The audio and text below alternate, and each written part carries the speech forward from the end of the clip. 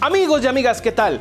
Esto es la revancha de la mordaza. ¡Arrancamos! Si ustedes pensaban que el tiro más esperado era el Canelo contra el Chávez Jr., pues fíjese que no. El tiro más esperado es este. Este que están protagonizando nada más y nada menos que un expresidente de la República con un exgobernador. Sí, créalo usted.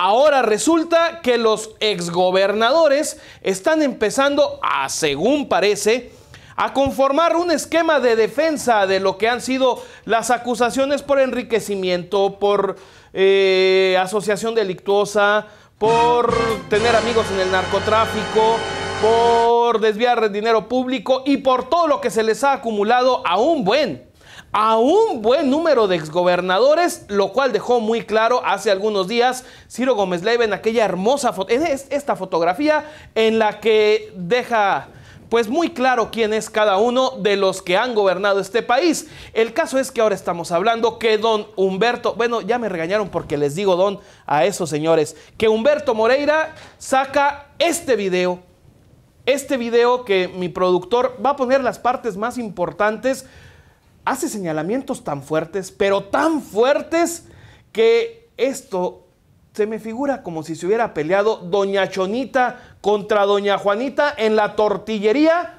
cuando el marido salió de la casa de una de las dos. Véalo. Felipe Calderón, el usurpador, el que se robó la presidencia, ha estado estos días muy boquiflojo con su tuit poniendo una sarta de mentiras, de insultos, de agravios hacia mi persona.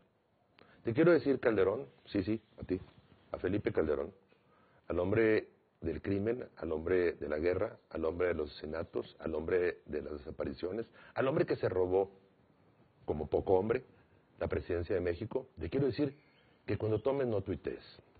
¿Qué razón es lo que pasa cada que escribes alguna palabra? Tú sabes Tú sabes la persecución de la que fui objeto por tu culpa. Me denunciaron de todo, tus esbirros, de todo. Y de todo salí inocente. Tú sí estás embarrado con el narcotráfico, Calderón. Estás hasta las chanclas. Aquí estás, mira. Este es el pariente de tu compadre. Sí, sí, del que le diste protección. Sí, sí, de los del Tren Leiva. No te hagas, Calderón. Acá está, como tu compadre, con tu apoyo, le daba protección para el traslado de coca. Eso no lo dices, ¿verdad, Calderón? ¿No? Se te olvida. Por eso tomas tanto, para tratar de olvidar las atrocidades que cometiste. Sé dónde está el origen de tu problema. Ojalá pudieras acudir con un especialista. Tu problema mental y de alcoholismo te lleva a cometer este tipo de cosas y barbaridades. Recuerdo muchas cosas, ¿eh, Calderón? Si quieres nos ponemos a hablar. Recuerdo aquella plática cuando ibas temeroso en el Hotel Quinta Real con empresarios y me decían nervioso, ¿qué va a pasar? ¿Qué va a pasar? Te veía yo con tanto temor, tan indefenso, tan temeroso. Entramos con los empresarios, nadie te agredió. A la salida sí te hicieron reclamos porque nunca mandaba recursos a Coahuila. Reclamos justos, además. Después te trasladaste a la alcoba con aquella, ¿te acuerdas? Yo estaba ahí. Y me dijiste en el trayecto, ¿qué piensa usted de estos castigos a secuestradores y narcotraficantes? Te dije, debe ser un castigo legal muy severo. Tú me dijiste que por ti mejor deberían ser asesinados. Me quedé impactado con tu respuesta. Pero ¿por qué no te he demandado en la Procuraduría General de la República? Quizá nos animemos a hacerlo. Yo te demandé a ti en la Corte Penal Internacional como criminal de guerra. Así que tú a mí no me has hecho ningún favor para aquellos que se confunden. Al contrario, me has perjudicado como nadie con investigaciones y con atrocidades que se han ido cayendo una a una.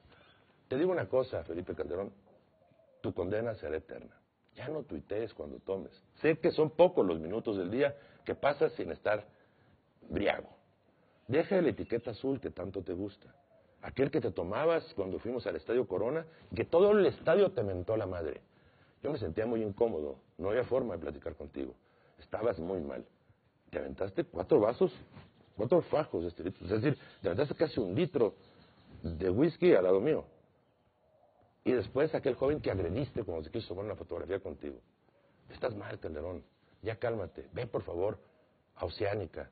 No sé qué te, qué te estás metiendo además del alcohol. Ve, por favor, Alcohólicos Anónimos. Hay rehabilitación para ti.